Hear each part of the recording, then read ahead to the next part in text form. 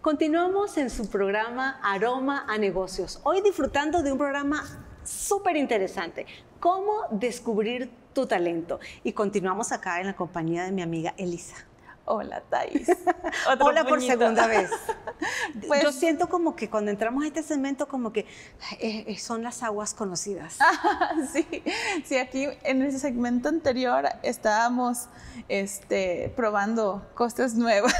Muy bien. Sabes que desde el punto de vista organizacional, Elisa, eh, nosotros hablamos de, dones y talentos y le hemos colocado otros nombres como habilidades y destrezas. Claro, claro. Y, y que de hecho hay un departamento específico en una organización que se encarga de descubrir el talento, de promoverlo, de desarrollarlo y es el departamento pues de recursos humanos, aunque algunos ya les pusieron el departamento de talento humano, así sí, tal cual. en la actualidad incluso se llama departamento de capital humano. Ha pasado como por varios nombres, ¿no? Gestión de, de comportamiento, capital humano y ese de talento humano hoy, pues viene a la razón de este programa. ¿Cómo descubrir los talentos en las organizaciones para que los trabajadores hagan mejor su trabajo. Claro, y si todavía no han descubierto su talento, les invitamos, y acaban de entrar al programa, les invitamos a ver la primera sección ya que termine para que ustedes respondan un pequeño quiz, unas pequeñas preguntas para descubrir su talento.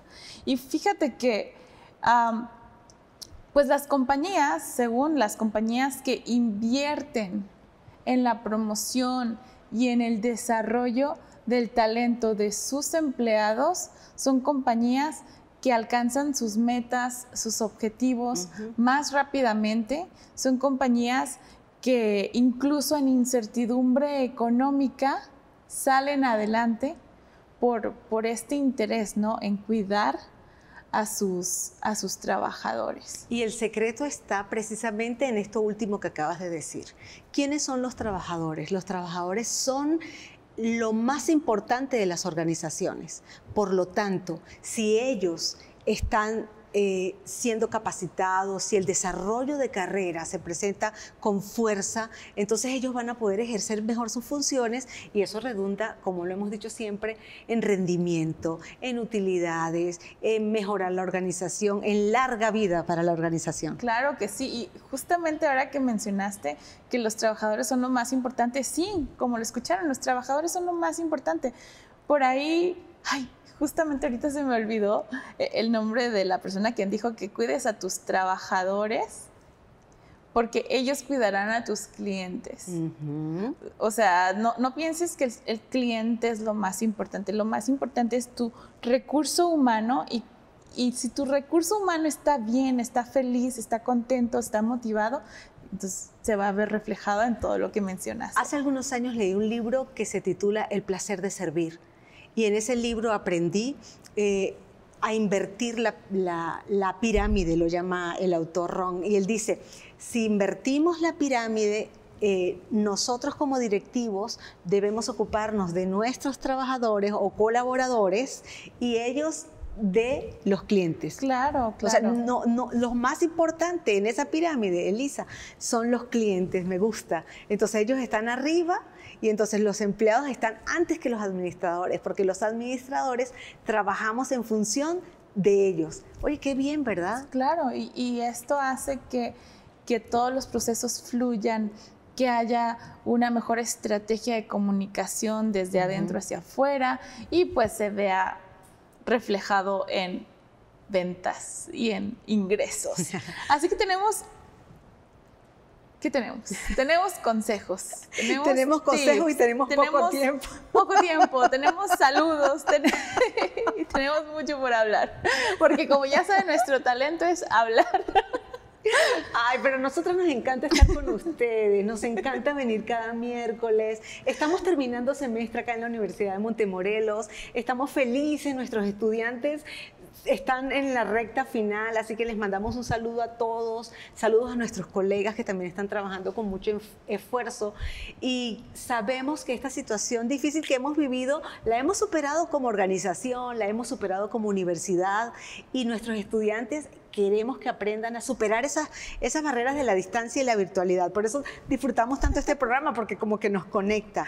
Claro que sí. Bueno, aprovechando que ya mandaste unos saludos, queremos saludar a Rebeca Miranda, que nos está viendo desde Guatemala. Rebeca, te mandamos un enorme abrazo. Gracias por sintonizarnos. Ana Martínez también. Ana Martínez, gracias por siempre vernos. Gracias, gracias. ¿A dónde nos pueden escribir? Al 826 114 1555. Y estamos en YouTube, estamos en Facebook, estamos en Instagram, allí también.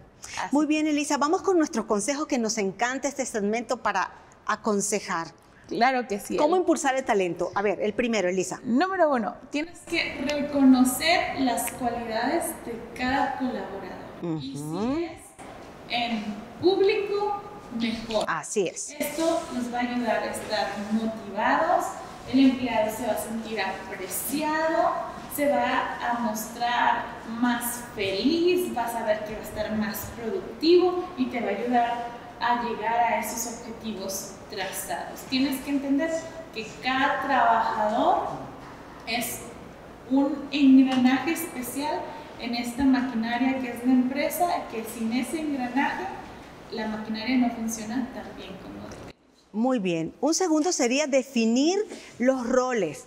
Elisa, ¿qué significa definir los roles? Significa que cada trabajador debe específicamente eh, saber qué va a hacer, cuáles son sus actividades, cuáles son sus tareas, eh, cuáles específicamente es eh, lo que él debe aportar a la organización. Eso va a evitar roces. Eso va a evitar, va a evitar que, porque tú estás haciendo lo que a mí me corresponde. Y en las organizaciones nosotros cuando queremos descubrir talentos debemos poner a las personas a hacer un trabajo específico para ver cómo brilla en ese lugar. Si de repente no es allí, lo podemos cambiar a otro. La definición de roles ayuda mucho en el desempeño del trabajador y también la no definición de roles. Qué difícil es estar en un lugar donde ni siquiera una descripción de puestos tengas, por así decirlo. Entonces, roles bien definidos. Muy bien. La tercera es promueve la participación. Deja que tus colaboradores hagan eso, colaboren contigo. El sentimiento de pertenencia es fundamental para la integración de un equipo de trabajo. Así que ah, recuerda informar a tus a tus empleados sobre los logros, sobre los avances de la empresa, también sobre los desafíos que presenta. No tengas miedo, quizás uno de ellos tenga la respuesta a esa a ese problema que, que enfrentan y vas a ver cómo al fomentar esta participación vas a tener un equipo con mayor sinergia y más motivado. Claro que sí. La número cuatro es fomentar la crítica constructiva. Esa palabra crítica, algunas personas dicen, no me hables de ninguna crítica constructiva, que crítica es crítica. Yo la cambiaría por retroalimentación. Eh, abramos los canales de comunicación en la organización y que cuando haya alguna evaluación del desempeño, cuando tengamos que opinar sobre nuestro trabajo o el trabajo de nuestros colaboradores, lo hagamos para mejorar, siempre para mejorar.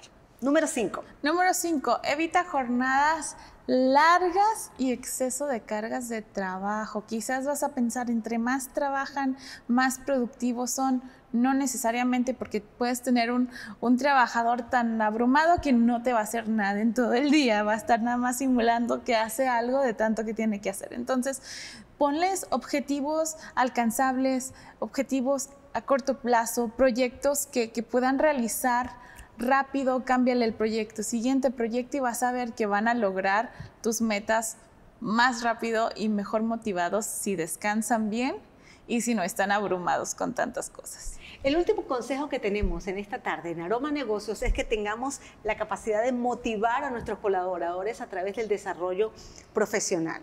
¿Qué significa? Acompáñenlos. Desde el momento que él llega a la organización hasta que se vaya, él tiene que sentir que ha crecido, que es mejor persona, que sus aportes han mejorado, que su desempeño ha ido aumentando y esto en cada individuo va a hacerlo crecer como persona, que es lo que nosotros queremos, que en las organizaciones los colaboradores puedan alcanzar sus objetivos individuales y al mismo tiempo los objetivos organizacionales. Claro que sí, y justamente después de graduación tenemos nuestras jornadas de desarrollo profesional, así que qué mejor, ¿no? Que motivar con algo que te beneficie a ti como empresa, ¿no? Claro que sí. Y nos quedamos con un versículo muy bonito que dice, cada uno ponga al servicio de los demás el don que haya recibido, administrando fielmente la gracia de Dios en sus diversas formas. Qué bonito que tus talentos, que tus dones los pongas al servicio de los demás. No hay mayor gozo en servir a los demás, es el gozo más genuino. ¿Y con qué nos quedamos, Tai? Nos quedamos sabiendo que la administración está en todo y para mis estudiantes, mírenlo allí en ese versículo. claro que sí. Tenemos que aprender a administrar, planificar, organizar, dirigir y controlar nuestros talentos, ¿verdad? Bueno, este segmento ha terminado por el momento, pero nos queda un tercer segmento. Hoy tenemos un invitado de lujo. La Universidad de Montemorelos nos trajo un invitado que va a presentarse en el tercer segmento, donde seguiremos aprendiendo cómo descubrir tu talento. Que es allí, ya regresamos. Esto es Aroma a, negocios.